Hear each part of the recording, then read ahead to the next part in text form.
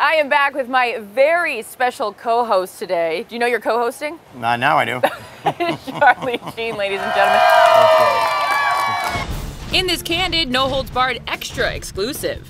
I'm glad we're sitting on a couch. This feels therapeutic for me. I should be laying down. Go for it. Therapy wise, lady. Therapy wise. Stop, you.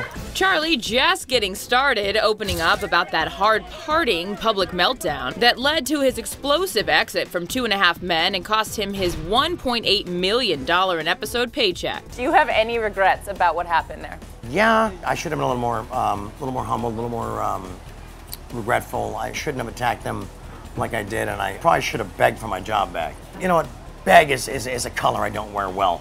Um, I probably should have requested my job back. That's your only regret? Well, yeah, I think that um, what went down was fixable, and I made it irreparable. Charlie confessing he feels like he failed his fans.